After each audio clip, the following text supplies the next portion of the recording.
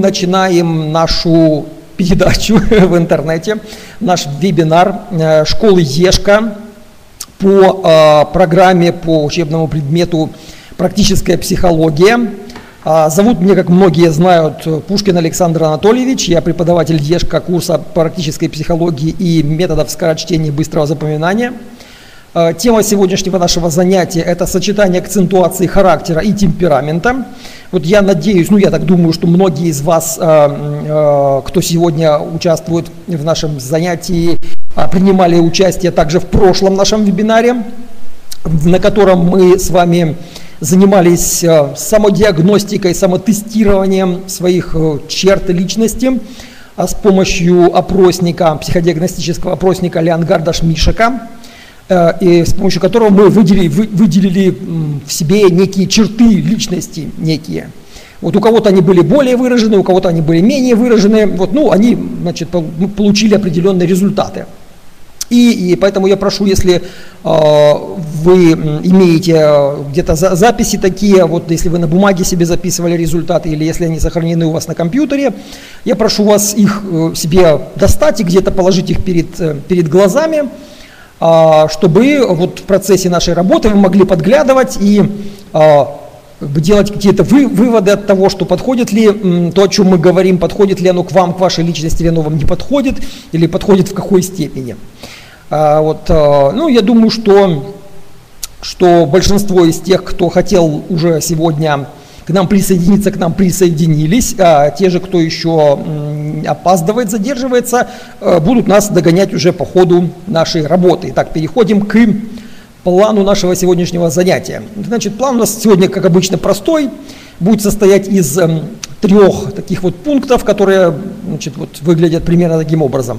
Первый пункт – это проявление акцентуации в личности и в поведении – Второй пункт – сочетание акцентуированных черт характера и темперамента. Третий пункт – рекомендации носителям акцентуированных черт. Ну, я бы, я бы еще бы расширил третий пункт не только вот рекомендации носителям акцентуированных черт, а рекомендации э, родителям, э, как э, сделать так, чтобы ваш ребенок, даже если он имеет какие-то врожденные, вот, скажем так, задатки к акцентуациям характера, чтобы эти вот э, э, такие вот, скажем так, ростки, которые могут потом дать в жизни этого человека, ребенка, могут дать проблемы, чтобы их, ну, как сказать, не дать им этим проблемам расцвести.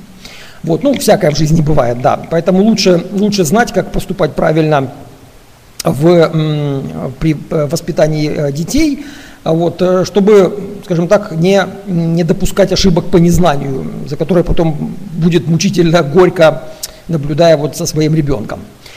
Вот, итак, мы с вами сейчас буквально вот тоже для тех, кто участвовал в прошлых вебинарах и для тех, кто не участвовал, мы напомним о том, что такое вообще акцентуации, что такое акцентуации характера, что такое акцентуации темперамента. Вот, э, что такое вообще личность, немножко коснемся, тоже вспомним, что такое личность человека. Вот, и э, дальше э, пойдем уже разбирать какие же существуют акцентуации характера и темперамента, вот какие у этих личностей есть позитивные сильные стороны, какие есть негативные стороны, слабые стороны или болевые точки, или как, как, как это можно назвать, ахиллесовые, ахиллесова пята. Вот, э, и эм, какие-то рекомендации с вами выработаем вот, к окончанию нашего занятия по поводу вот того, как же нам быть с а, людьми, с личностями, которые имеют некие вот обостренные, акцентуированные черты. Итак, а, вот давайте вспомним, что такое личность. Вот э, личность это понятие такое большое, такое достаточно многогранное, но в нем, э, в, этой, в этом понятии личности можно выделить такие важные три важных компонента, как темперамент, характер и направленность личности. Вот темперамент, э, мы с вами тоже уже на предыдущих вебинарах этому делу посвящали свое внимание. А, так что темперамент – это свойство личности, которое отражает динамику психической деятельности. То есть, а что входит в динамику нашей психической деятельности? Это сила, а, подвижность э, нервных процессов в нашей центральной нервной системе. И вот сочетание силы а, и подвижности этих нервных процессов создают э, четыре, как известных, да, вот типа темперамента, которые мы с вами тоже уже неоднократно разбирали. Вот, э, и мы можем, скажем так, довольно ну, нечасто мы можем встретить людей, которые имеют очень ярко выраженный какой-то тип темперамента. Да, обычно ну, большинство людей имеют какой-то такой, ну, скажем так, довольно средний, средний темперамент. Вот, ну, опять же, да, существуют личности, у которых, например, допустим, сильно выраженный меланхолический темперамент или сильно выраженный холерический темперамент. И мы такую личность, скажем, в общении очень быстро можем а, вот, а, определить, да, вот, а, диагностировать, скажем так, на глаз, что вот при сильно выраженных чертах темперамента можем этот э, темперамент у человека вот, заметить. Далее, характер. Вот мы с вами тоже говорили о том, что характер – это свойство личности, э, которое э, является продолжением, является развитием э, темперамента, типа темперамента человека. Так вот, характер, он, это, скажем так, некие такие вот скажем, как это назвать, отпечатки в личности, да, вот если говорить о том, что вот, характер это чеканка, да, в переводе с греческого. Это отражение отношения человека к самому себе, находят свое отражение в характере к другим людям и к э, деятельности, ну, в частности, к труду. Вот. Э, мы также тоже можем э, сказать о том, что характеры бывают, ну, скажем, такие позитивные, или можно их назвать синтонные, такие, значит, гармоничные характеры, да, люди, которые, скажем, довольно э, ну, легко могут вступать в взаимодействие с другими людьми, люди, допустим, неконфликтные э, и тому подобное. Есть же характеры, э, которые мы, скажем так, на бытовом языке называем тяжелыми, да, вот, ну, не будем называть их плохими, потому как, ну, как сказать, не бывает, наверное, плохих характеров, да, вот, просто они бывают, для кого-то они бывают скажем так, нормальными, легкими, для кого-то они бывают тяжелыми. Ну, вот любой из нас а, среди своих знакомых может вспомнить кого-то, кому подходит а, такая вот фраза, как человек имеет тяжелый характер. Вот, э, вот это находит, э, значит, э, выражение этой тяжести находится, находит свое выражение во всем, в отношении человека к самому себе и к другим людям, и к труду. А дальше. И третья такая фундаментальная, очень важная черта точнее э, группа черт э, личности, это направленность личности.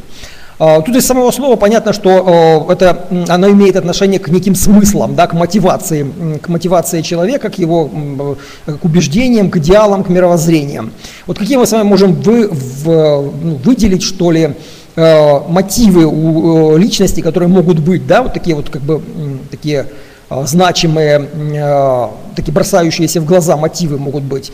Ну, допустим, а, у некоторых людей есть мотив, один из основных мотивов – это самореализация. Вот если мы вспомним гуманистическую психологию и Абрама Маслоу, да, который говорил, что вот э, у здоровой такой вот гармоничной личности она имеет направленность на само, самореализацию. Вот это замечательно, если действительно человек имеет направленность на самореализацию, но бывают случаи, когда э, личность человека имеет направленность, например, на удовольствие, на получение удовольствий любой ценой, можно так вот тоже выразиться. Или, например, на получение власти. Вот а, с какой целью, ну, это тоже э, психологи много бились над этим вопросом, для, для чего человеку э, нужна власть, для чего некоторые люди стремятся, просто имеют прям патологическую такую жажду к власти, но мы тоже сейчас этого касаться не будем, просто мы должны знать, что это относится к направленности, направленности личности. Вот. Ну, каждый для себя тоже может попытаться ответить, э, какая же вот моя, да, вот э, направленность моей личности, вот на что. Если вы посмотрите объективно на то, э, значит, на, на свой образ жизни, э, на, свое, на свои любимые занятия, на то, чем бы вы хотели заниматься, например, то из, этих, вот из этой информации можно выделить а, именно понимание вот направленности своей, своей личности. В общем, мы так с вами немножко коснулись да, понятия личности, вспомнили, кто подзабыл, э, узнали, кто не знал. Вот. Э, но, э, коль, коль уж наша тема сегодняшнего занятия посвящена акцентуациям, нам нужно вспомнить, что такое акцентуация.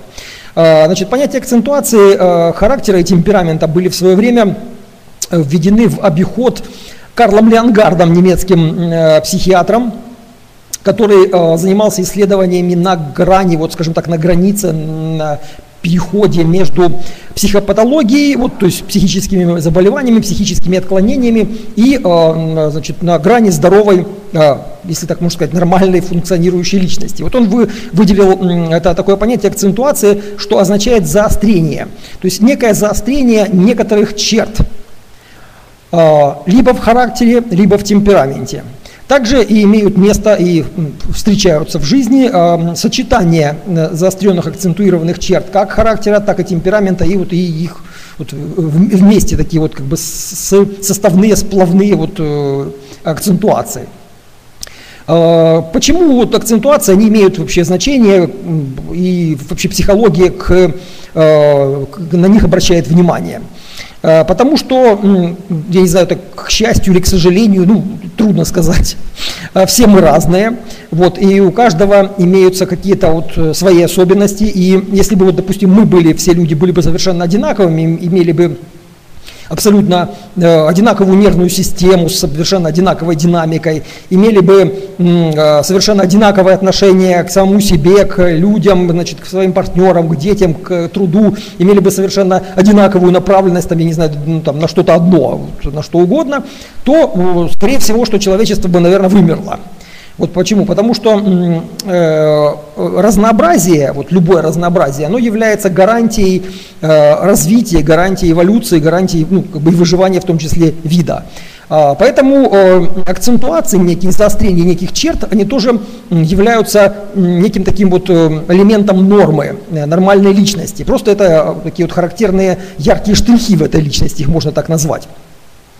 Вот мы давайте сейчас посмотрим с вами на вот такую вот диаграмму. Я не знаю, будет ли она у вас хорошо видна, но в данном случае э, просто чтобы вы видели, что есть одно из э, таких вот символических графических описаний личности. Естественно, это нельзя его считать полностью, это описание э, таким вот абсолютно исчерпывающим и адекватным, но это хотя бы какая-то схема, которую можно применить для понимания вот личности человека. Итак, вот мы видим в центре круга, а, вот такого, который описывает а, различные черты а, личности а, человека, которые могут быть у человека. Есть в центре круга такое понятие, как стабильность или нормативность. Да? Это как бы тот идеал, а, которому, вот, а, это идеал личности, вот, который был бы очень бы хорошо, если бы он был у всех. Вот, ну, к, опять же, говорю, к сожалению или к счастью, этого нет. И все мы э, разные, все мы имеем какие-то индивидуальные особенности.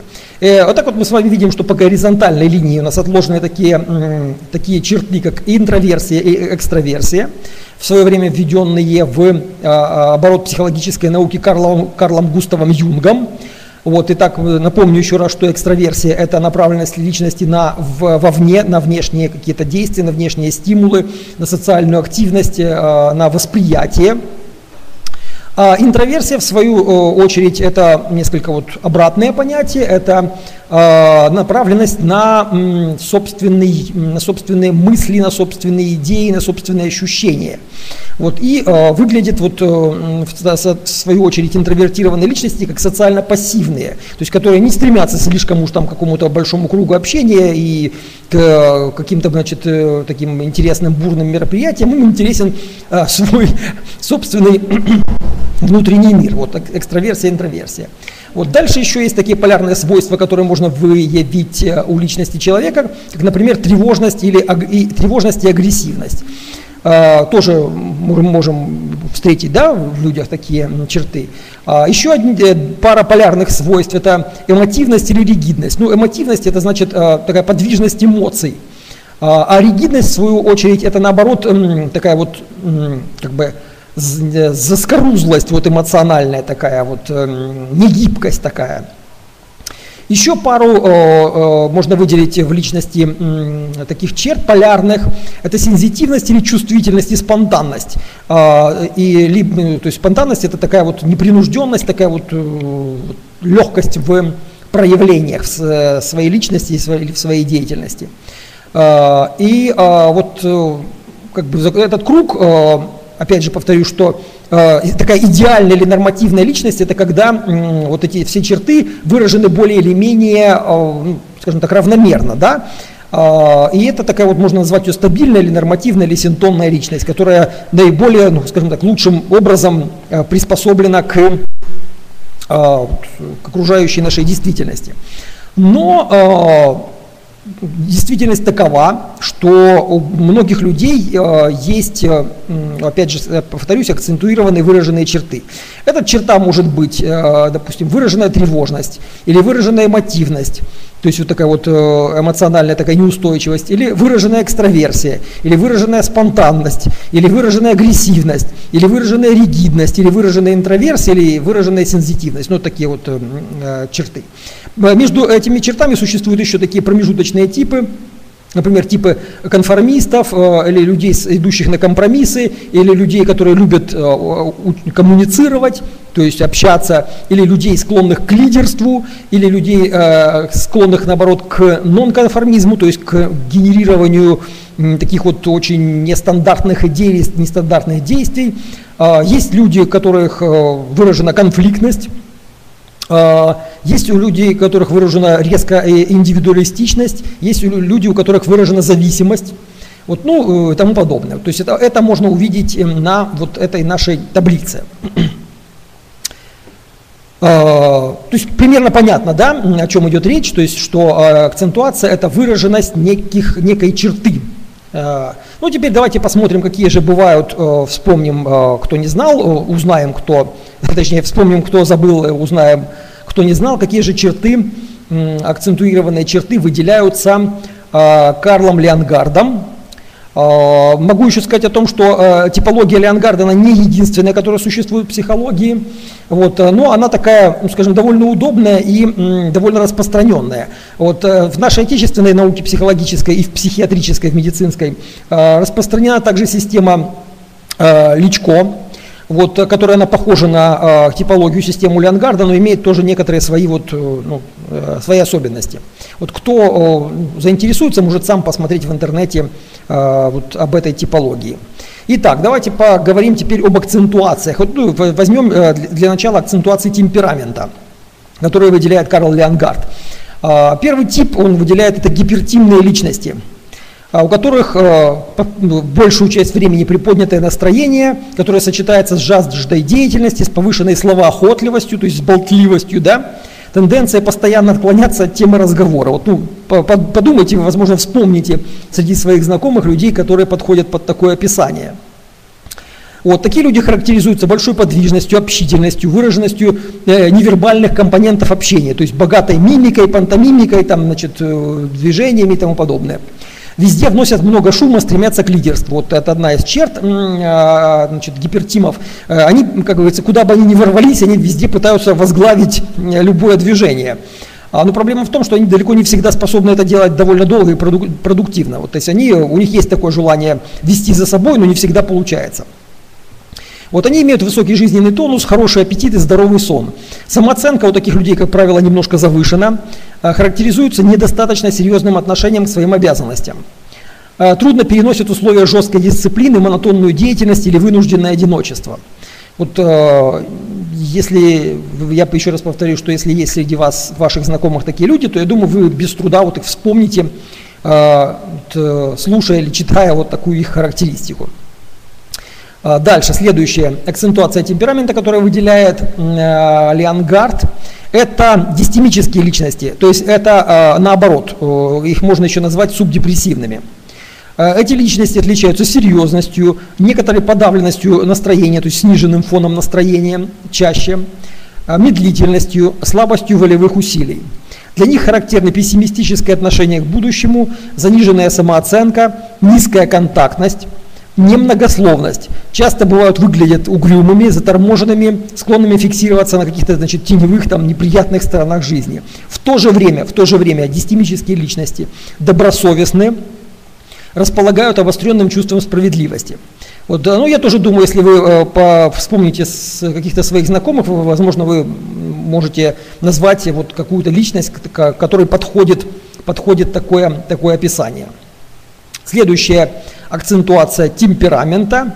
Это аффективно лобильные личности, это люди, для которых характерна смена повышенного фона настроения, то есть гипертимической э, вот такой вот э, черты, и дистемического состояния, то есть сниженного фона настроения. Иногда без видимых внешних причин. Вот в чем э, здесь нюанс.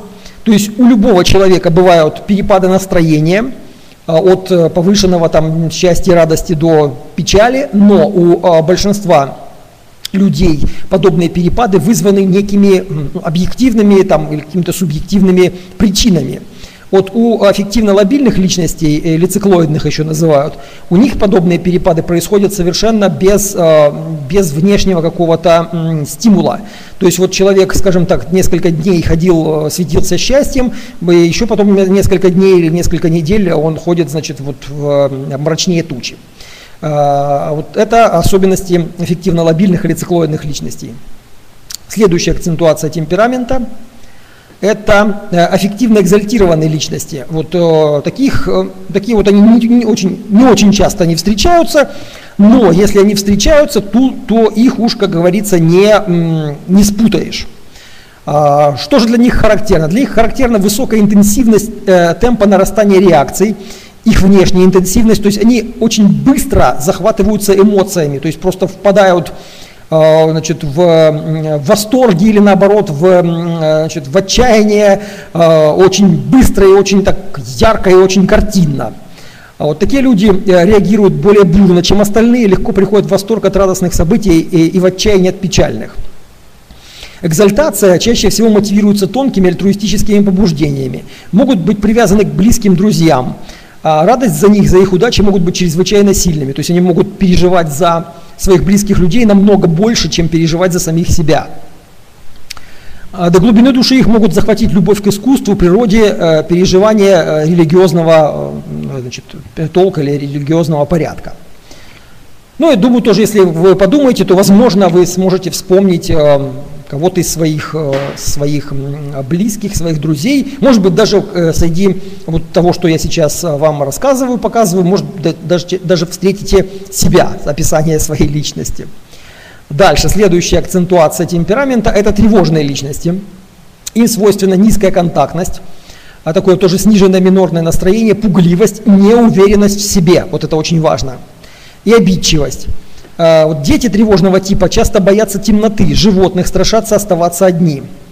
А, причем их а, очень трудно, таких детей, скажем так, переубедить словами. Вот они испытывают это вот на таком, этот страх испытывают на, на, на таком глубинном уровне.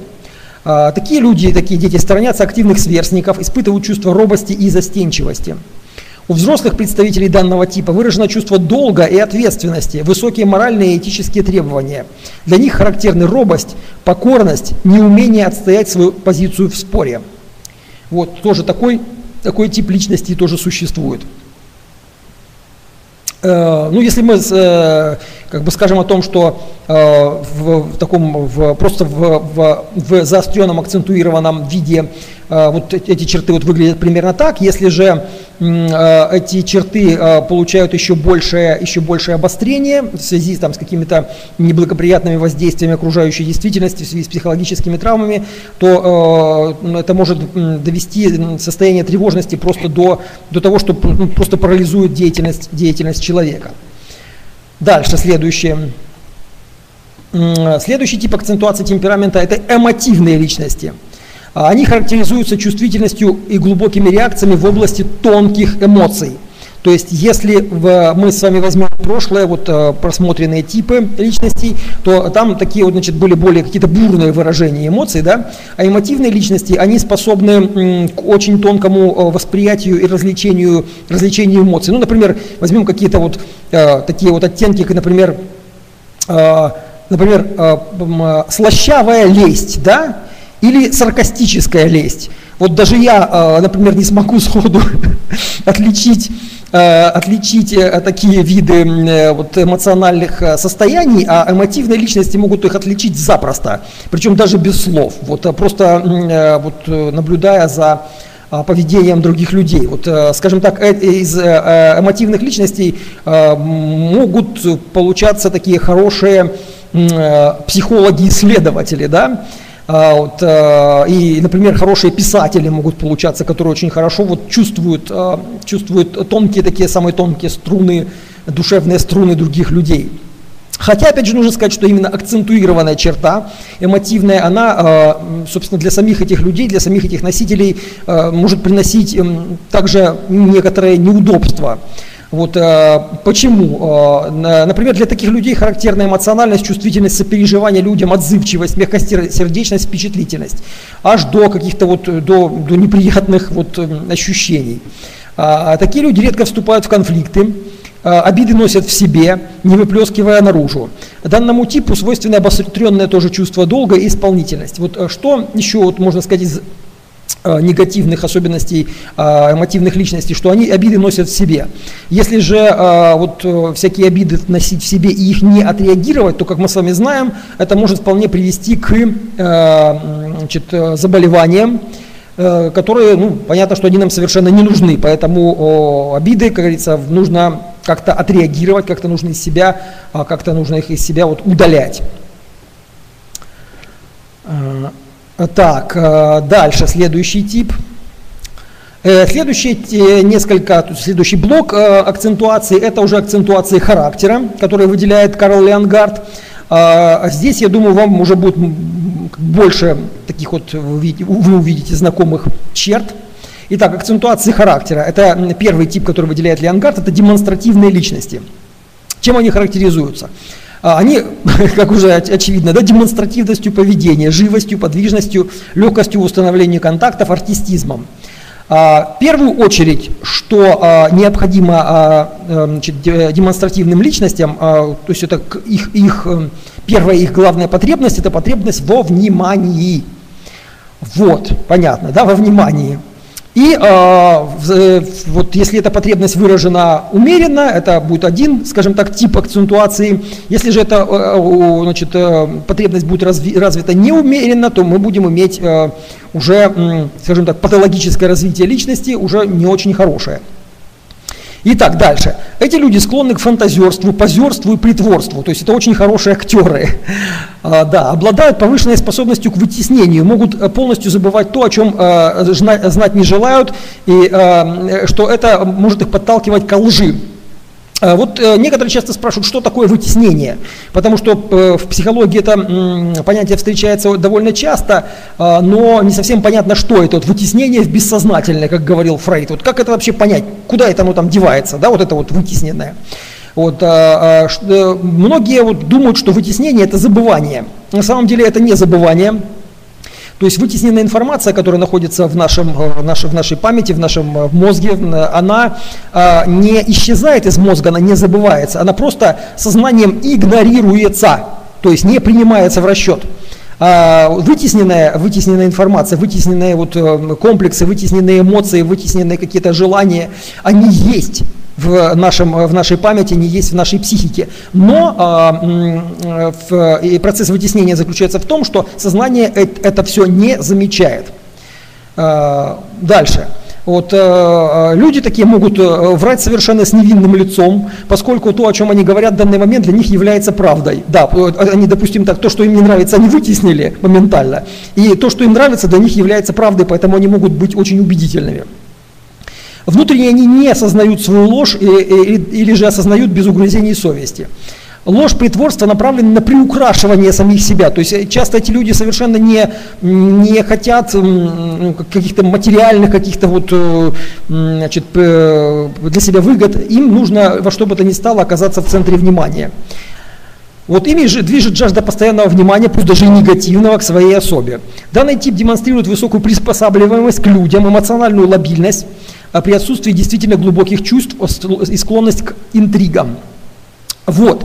А, что можно сказать о позитивных и каких-то негативных чертах? Это позитивные черты, которые можно при наличии вот этой акцентуации демонстративной, а, значит, э, как их можно развить? Это а, занимаясь, скажем так, а, каким-то вот, э, э, видами искусства, какого-то такого, значит, сценического, то есть театральное искусство, песни, танцы и тому подобное, вот э, такое, такое вот выражение себя в таких видах искусства для демонстративных личностей это очень хорошая и полезная форма. В этой форме они могут получать удовольствие от того, что они имеют к себе внимание, приковывают к себе внимание, в то же время давая как бы, позитивные какие-то моменты, позитивные эмоции, давая другим людям.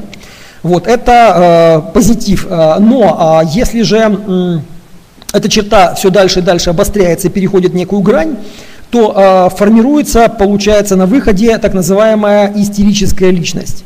Вот, э, то есть это действительно малоприятные люди уже, это люди крайне скандальные, крайне склочные, крайне эгоистичные. Вот, ну, я думаю, вы можете, если даже не среди своих знакомых вы таких, если людей даже вы не найдете, то вполне возможно вы можете вспомнить таких э, людей такого типа, например, среди так называемых звезд шоу-бизнеса. Вот, э, там э, подобные личности, перешедшие черту акцентуации и зашедшие уже в патологию личностную, там таких людей достаточно много. И вот эти люди действительно своими, своей очень, очень ярко выраженной, выпирающей этой вот чертой, демонстративной истерической чертой способны доставлять много хлопот и неприятностей и окружающим людям, и самим себе. Дальше, э, следующий тип э, акцентуации характера – это педантичные личности. Характеризуются ригидностью, то есть не гибкостью, инертностью психических процессов, долгим переживанием травмирующих событий. Что э, вот нужно сказать э, об этом типе в первую очередь? Это то, что этот тип э, совершенно противоположен э, типу предыдущему – вот, э, демонстративному типу. Если э, у демонстративного типа его особенность э, это очень быстрое мгновенное вытеснение, то педантичные личности, они к вытеснению вообще не способны. Следствием из этого есть еще один момент.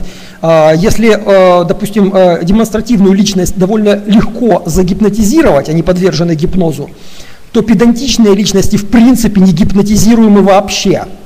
То есть вообще никак, то есть у них вообще нет вытеснения. Вот, э, и э, с чем это связано? Это вот связано именно с э, ригидностью и инертностью психических процессов. Им требуется колоссальное количество усилий для того, чтобы вытолкать вот куда-то какую-то мысль или какую-то идею или какое-то чувство, которое у них возникло в ходе, скажем так, жизненно, жизнедеятельности. А, вот, а, а, э, они долго переживают травмирующие события, то есть одна из таких вот их э, важных черт. В конфликт они вступают редко, в то же время сильно реагируют на любые проявления нарушения порядка или когда задевают их э, какие-то значит, их права. Пунктуальные, аккуратные, скрупулезные, чистоплотные, добросовестные усидчиво ориентированы на высокое качество работы и особую аккуратность, склонны к постоянным частым самопроверкам, сомнениям в правильности выполнения работы и, и э, в том числе негативная черта к формализму. Э, почему к формализму? Э, так как эти люди постоянно сомневаются да, вот в том, что правильно ли что-то сделано, вот, то они спасаются от своих сомнений в каких-то формальных вот этих вот нормах. То есть если формальные нормы выполнены, значит можно выдохнуть и особо не беспокоиться. Если же какие-то формальные нормы в деятельности не выполняются, это может вызвать у педантичной личности э, серьезный такой даже, даже стресс может вызвать. А, что тут, тут нужно сказать, что черта, вот э, такая акцентуированная черта, она может даже человеку помогать.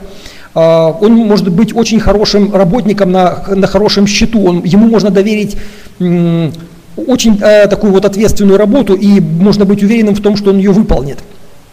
Э, но если же эта акцентуированная черта развивается дальше, э, растет и переходит определенную значит, грань, то мы получаем так называемую ананкастную личность, то есть личность, которая а, не может ни на что решиться, не может довести до конца ни одно дело, а, измучит и себя, и других сомнениями, вот, и э, понятно, что ничего как бы, хорошего из этого не, э, не получится ни для этого человека, ни для его окружающих.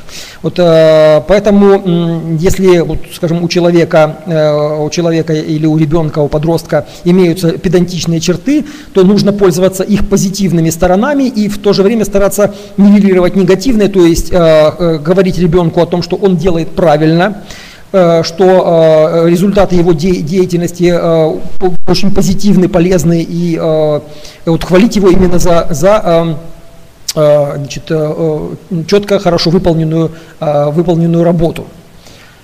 Дальше. Следующий тип акцентуации характера – это застревающие личности, так называемые. Данный тип характеризуется высоким уровнем задержки эффектов, то есть застреванием эмоций. А, такие люди застревают на своих чувствах, мыслях, не могут забыть обид, то есть они крайне злопамятны, инертны в моторике, то есть они не, не, сильно, значит, э, не сильно размахивают руками, если можно так выразиться.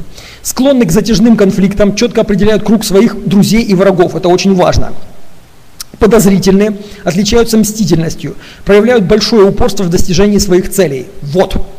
А, Итак, застревающие личности, э, у них, если эта черта просто акцентуирована, у них есть и позитивные, и негативные э, проявления, которые, опять же, позитивные проявления нужно а, в ребенке, допустим, в подростке, нужно под, э, поддерживать. А, какие, какие это черты? Это, это большое упорство. То есть, если у такого ребенка или подростка у такого ребенка или подростка появляется некая цель, то он э, может проявлять просто чудеса настойчивости в ее достижении. И это, естественно, очень хорошо. А, вот, но если же эти черты а, застревающей личности не направлять в позитивное русло, а, а как бы подвергать их еще негативному воздействию, воспитательному либо психотравматизирующему воздействию, то мы можем получить Э, личность, которая, э, когда переходится определенная грань, а такая личность уже называется э, параноидальная. Вот, то есть личность, которая может нажить себе быстро, нажить врагов, может заниматься как мелкой, так и крупной мстительностью, вот, и, и вообще может стать личностью очень-очень неприятной. Вот, поэтому ну, мы с вами дальше будем говорить о том, что как, как можно черты этих личностей э, значит, какие-то улучшать, какие-то нивелировать. Вот. Ну, в общем, э, э, примерно понятно, да, что такое застревающие личности. И э, последний такой тип, который выделяет Карл Леонгард, это возбудимые личности. Для данного типа характерна недостаточная управляемость, ослабление контроля над влечениями и побуждениями, повышенная импульсивность. Иными словами, эти люди не сдержаны, если можно так а, выразиться. То есть если им что-то захотелось, они это а, желают получить, и они это получают, даже если а, другие возражают. Вот. Для такого типа людей свойственна инстинктивность, то есть следование инстинктивным импульсам, в том числе и сексуальным импульсам, гневливость, нетерпимость, склонность к конфликтам. Одной из важных черт вот этого типа, типа возбудимых личностей – это часто возникающие а, дисфории, так называемые. То есть это состояние злобно-тоскливого настроения, которое как бы никем не, ничем не вызвано объективным, но э, это состояние дисфории, это вот злобно-тоскливое э, настроение, нужно э, вернемся к возбудимым личностям, что-то мы с вами на них застряли. Ну, это такое дело технические проблемы. А вот э, слава богу, что значит, мы их здесь решили, и все хорошо, продолжаем. Итак, возбудимые личности для данного типа характерна недостаточная управляемость, ослабление контроля над влечениями и побуждениями, повышенная импульсивность. То есть, как э, сказать э, иными словами, то есть эти люди, э, если чего-то не желают, то они это возьмут. А вот, и это вот их, их желание не всегда нравится другим людям, естественно, да? Вот для такого типа людей свойственна инстинктивность, то есть следование инстинктам, в том числе и сексуальным инстинктам, гневливость, э, нетерпимость, склонность к конфликтам. Вот еще раз я повторю, если, если это пропало, не вошло а, в, а, значит, если вы это не услышали, о том, что для возбудимых личностей характерно переживание так называемых дисфорий, то есть состояние злобно-тоскливого настроения. Причем а, возникает оно без видимой причины, и в таком состоянии эти люди хотят все время сорвать это состояние, сорвать эту злость на ком-то. Вот э, более, как бы, традиционно на более слабом.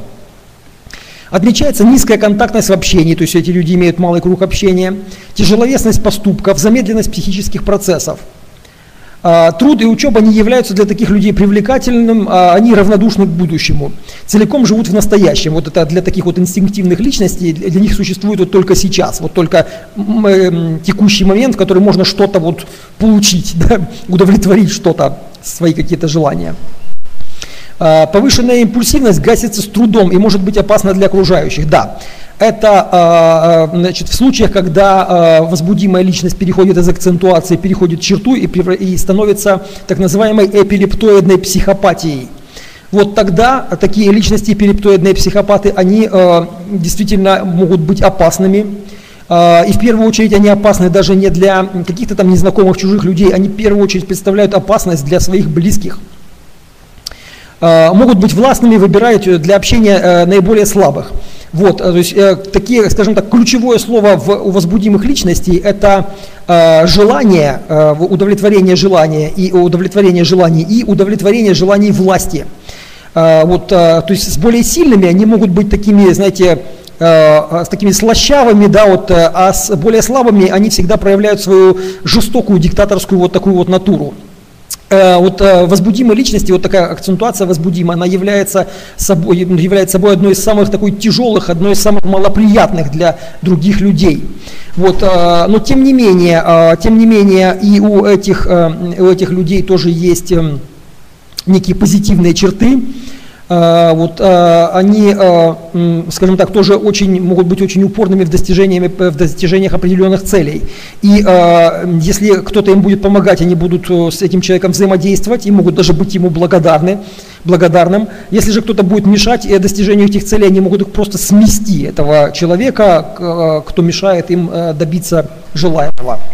Вот такие вот акцентуированные черты и темпераментов, и характеров бывают – Э, который выделил для нас с вами э, Карл Леонгард. Вот сейчас мы с вами еще возьмем и просто э, ну, пробежимся по таким вот сочетанием этих типов. Их на самом деле больше, но вот я просто взял для примера тут буквально четыре таких вот типа, вот смешанных типа. Вот, допустим, демонстративно-гипертимные личности, да? То есть они соединяют в себе и черты демонстративного типа, то есть желание внимания. И все это дело еще помножено на совершенно бешеную энергию гипертимной личности. Вот, то есть это, э, это человек э, фейерверк, это человек праздник, я бы даже назвал его человек петарда.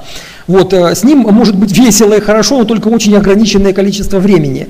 Вот, э, те, те же, кто находится с этим, с этим человеком в близком контакте постоянно, они, конечно, от такого человека могут очень быстро устать. Вот э, есть такое вот сочетание, может быть даже вы можете, можете даже вспомнить среди своих э, знакомых таких. Э, вот демонстративно возбудимые – это сочетание демонстративной э, акцентуации и возбудимой акцентуации. Вот когда это выходит, скажем так, за пределы уже нормы, даже за, за пределы вот акцентуации становится психопатией, то это имеет э, такое название, как э, э, истеропарано, истеро, эпилептоидная психопатия. Вот это очень, очень, очень неприятный тип э, личностей. Э, это когда истерические черты, э, вот желание признания, желание внимания помножены на, на черты возбудимые. То есть когда это внимание человек не получает, вот, ну, он может применить насилие и словесное, и физическое, и может быть очень жесток, и может совершать очень, очень э, такие вот поступки, которые могут приводить просто в шок других людей. Вот тогда, когда они не получают того, чего бы они хотели, э, э, то есть власти и внимания. Вот это э, такие вот бывают личности демонстративно возбудимые. Скажем, это действительно очень тяжелый тип обострения характера. С такими людьми очень-очень тяжело. Вот, э, демонстративно застревающие э, личности – это э, люди, которые вот, имеют черты демонстративные, то есть желание внимания, а при этом сочетаются с чертами застревания. Вот, и получается тоже такая вот очень дисгармоничная такая вот ну, личность, которая, с которой тоже очень довольно тяжело, довольно тяжело общаться. Еще один э, тип, э, который ну, можно просто здесь для примера привести, это тревожно-педантичные. Вот э, если обе черты выражены очень ярко, то э, такой личности, такому человеку очень тяжело. Вот мало того, что он постоянно э, перепроверяет самого себя, все ли правильно сделано, все ли так, как должно быть, он еще по этому поводу испытывает э, сильные приступы тревоги. Вот а, это, это как бы, я бы назвал этих людей самыми, может быть, наибольшими страдальцами, вот имеющих вот такой вот тип, а, выраженный вот тип акцентуации а, в своей личности. Вот, ну и давайте мы как бы к завершению перейдем к третьему пункту. Итак, какие же можно назвать рекомендации носителям акцентуированных черт? То есть мы сейчас с вами разбирать не будем, как нам общаться с тем-то типом акцентуации там, характера или темперамента, или с тем-то типом, как с ним взаимодействовать. То есть это можно посмотреть и в литературе.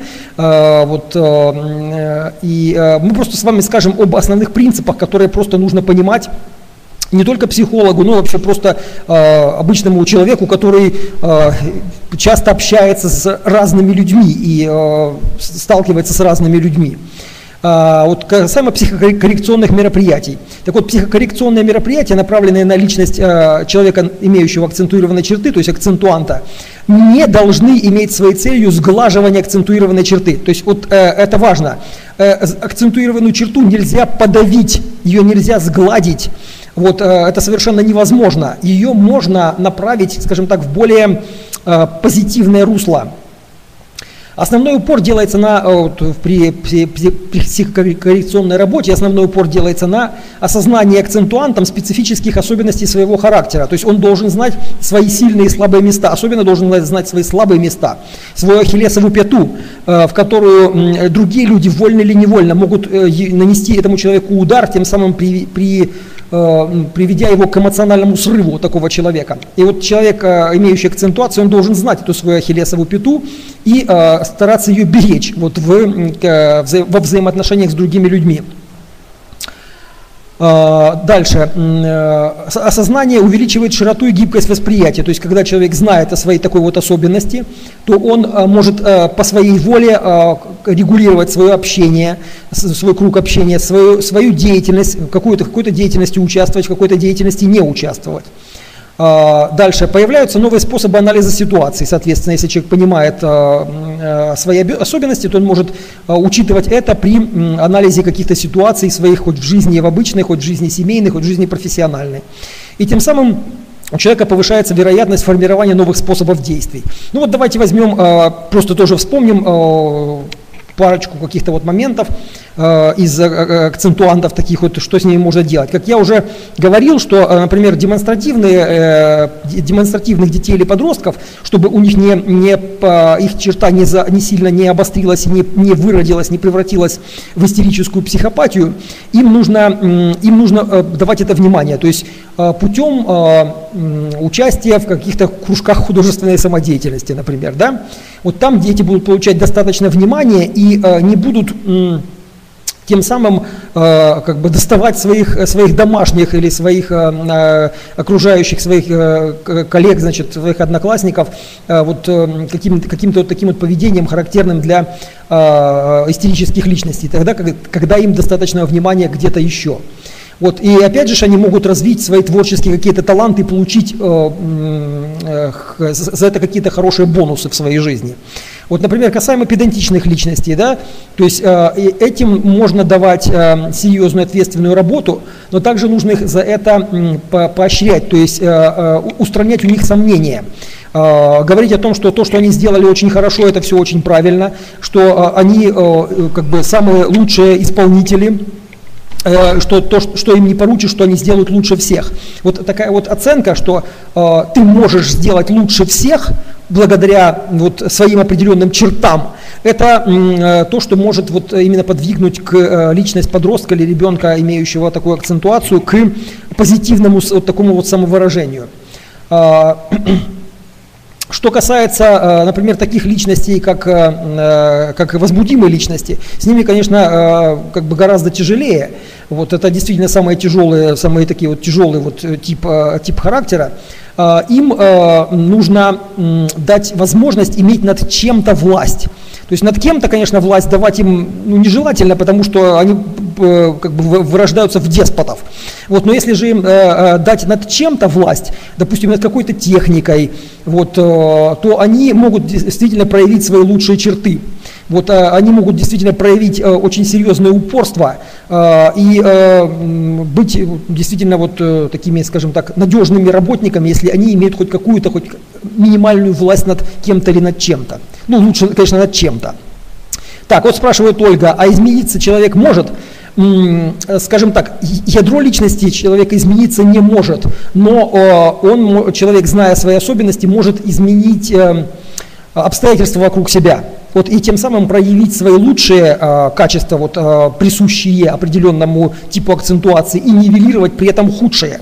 Вот, если же человек этих своих особенностей не знает, он не обучен взаимодействию э, вот своей личности с другими, с другими личностями, или он попадает в очень негативные, очень экстремальные психотравмирующие условия, тогда он э, попадает в ситуацию эмоционального психического срыва.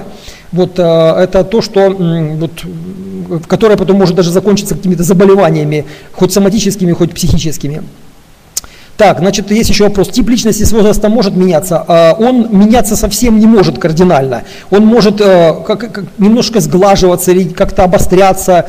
Вот, но совсем кардинально, например, э, личность, э, явно выраженная демонстративная личность не может стать в, с возрастом застревающей личностью. Вот это вот такой вот есть нюанс. То есть совсем измениться личность кардинально на, на 180 градусов не может. Так, э, значит, Анна спрашивает, как с таким человеком жить в семье? А вот Анна, вот этот вопрос уже, к сожалению, мы в рамках вебинара с вами прояснить не можем. Это вопрос, который э, решается в рамках семейной э, психо психологической консультации. Вот, то есть, либо это можно узнать об этом, пойдя к практическому психологу вместе со своим супругом, вот получить от него консультацию, провести психодиагностику, провести консультацию, либо же а, найти какие-то ответы на эти вопросы в нашем курсе практической психологии школы Ешка. Вот такая реклама. Да. Значит, а, ну и давайте, значит, к, в конце, в конце мы с вами еще упомянем буквально несколько таких важных моментов, э, которые касаются воспитания ребенка, воспитания детей. А об этих моментах многие могут не знать. Э, но последствия вот таких типов воспитания, о которых мы сейчас с вами упомянем, они могут иметь очень тяжелые последствия для личности воспитуемого ребенка. Поэтому если вы вдруг вот сейчас, глядя на эти на этот список этих вот распространенных видов неправильного воспитания, вы вдруг узнаете себя, что вы так себя ведете, то это э, знак того, что нужно э, этот э, вид неправильного воспитания сворачивать и переходить к более правильному и конструктивному. Итак, Какие виды неправильного воспитания могут быть и, в свою очередь, они приводят к обострению, заострению значит, акцентуации черт характера у ребенка? Это гипопротекция, то есть недостаток опеки и контроля, истинного интереса к делам, а, значит, чувствам и увлечениям ребенка. А, это то, что называется запущенность. Дальше, доминирующая гиперпротекция. Это чрезмерная опека и мелочный контроль. Не приучает к самостоятельности и подавляет чувство ответственности и долга. Вот это, можно сказать, а, такая мамочка, которая, извините за выражение, вытирает сопли 30-летнему сыночку. Вот это доминирующая гиперпротекция. Дальше. Потворствующая гиперпротекция. Это недостаток надзора и некритическое отношение к нарушениям поведения у, людей, у детей. Это как раз э, та ситуация, которая называется, когда детей балуют. То есть потакают их э, любым их желаниям, э, вот, э, и, соответственно, дети вырастают ну, с такими акцентуациями, вот, могут быть и возбудимые акцентуации, и э, демонстративные, которые могут достигать черт психопатии. Понятно, что ничего хорошего это не, не сулит. Дальше. Воспитание в культе болезни. Э, болезнь ребенка, даже незначительное недомогание предоставляет ребенку особые права и ставит его в центр внимания семьи. Культивируется эгоцентризм и рентные установки. То есть, если ребенок однажды сказал, у меня болит живот, и, а мамочка кричит, ой, ложись скорее, там и дает ему там конфеты и все прочее, то ребенок после двух-трех таких вот фокусов э, понимает, что э, значит, можно разыгрывать из себя больного и получать за это э, какие-то вот преимущества, не только от мамы, а впоследствии и от общества. Опять же, понятно, ничего хорошего для растущей личности это не, не предвещает. Дальше, эмоциональное отвержение. Это очень, очень плохой, очень тяжелый тип неправильного воспитания, э, когда ребенок понимает, ощущает, что его не принимают и им тяготятся. То есть это гораздо хуже, чем когда ребенка не любят. Вот это отвержение, это хуже даже вот не любви. Дальше, условия жестких взаимоотношений. Это срывание зла на ребенке и на подростке, душевная жестокость. Это понятно, что такое бывает в, семьях, где процветают эгоизм между родителями постоянные скандалы. Вот, э, ну, я могу сказать, что подобные, подобные вещи э, распространены среди, ну, как бы это выразиться, таких вот э, низших классов общественных. Вот, но, к сожалению, среди людей, так, скажем так, имеющих высшее образование, подобное тоже встречается, встречаются подобные, подобные эксцессы в, в жизни. Дальше, условия повышенной эмоциональной ответственности. Это когда на ребенка возлагаются не детские заботы и завышенные ожидания. Вот здесь тоже у ребенка может случиться срыв, когда а, от него требуют больше, чем а, способна вынести его развивающаяся психика. Это когда э, из самых лучших побуждений ребенка нагружают десятками кружков, и в каждом э, из них требуют э, наилучших, там, самых там, значит, высших достижений. И в один э, непрекрасный момент ребенок может просто сорваться и э, просто может все рухнуть. Вот э, то, что этот карточный домик, который строили, э, этот карточный домик ожиданий, который строили родители по отношению к своему ребенку, может рухнуть, вызвав сильнейшее разочарование как у самого ребенка, так и у родителей. Дальше. Противоречивое воспитание – это тоже очень плохой вид э, воспитания, который э, встречается э, в семьях, там, где есть мамы, папы, бабушки, дедушки. Это несовместимые воспитательные подходы различных членов семьи. Такое воспитание может оказаться особенно травмирующим для любых э, типов акцентуаций. Ну, какой можно привести пример? Это значит, э, мама за что-то поругала, ребенок побежал к бабушке, бабушка погладила по голове и дала конфетку. Вот, э, папа э, за что-то поругал, мама кричит на папу, ты бесчувственная скотина, как ты можешь вот, унижать нашего ребенка. Вот в результате такого противоречивого воспитания у ребенка может развиться что угодно, вплоть до невроза и психопатии. Вот когда он не может понять, а как же ему нужно себя вести, вот, чтобы угодить всем.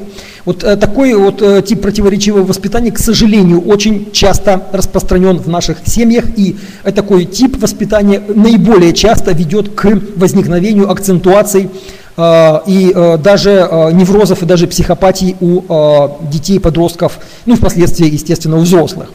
Вот, ну, я надеюсь, что вы, посмотрев сегодняшний вебинар, узнали что-то для себя интересное, полезное что вы, может быть, узнали себя в чем-то, в каких-то описанных э, значит, типах личности, узнали своих э, каких-то вот знакомых, своих родственников. Э, самое же главное, что я хотел бы пожелать вам, что вот те из вас, дорогие наши участники, кто имеет сейчас детей, в том числе маленьких, чтобы вы были очень внимательны к тому, как вы воспитываете своих детей, были бы очень внимательны к тому, как это делает ваш партнер, ваш супруг, ваши родители, то есть бабушки и дедушки. А, чтобы ваши действия воспитательные были всегда осознанными. И чтобы, а, если уж ну, так получилось, что у ребенка в силу каких-то вот э, генетических вот особенностей возникли обострения, некие обострения, заострения черт характера, чтобы вы, имея эти знания, направили эти обостренные черты характера в позитивное русло. И чтобы ребенок, имея вот эту особенность, мог ею воспользоваться на благо и на успех себя самого. Спасибо большое вам за внимание. Всем всего доброго, до следующих встреч на экранах наших мониторов.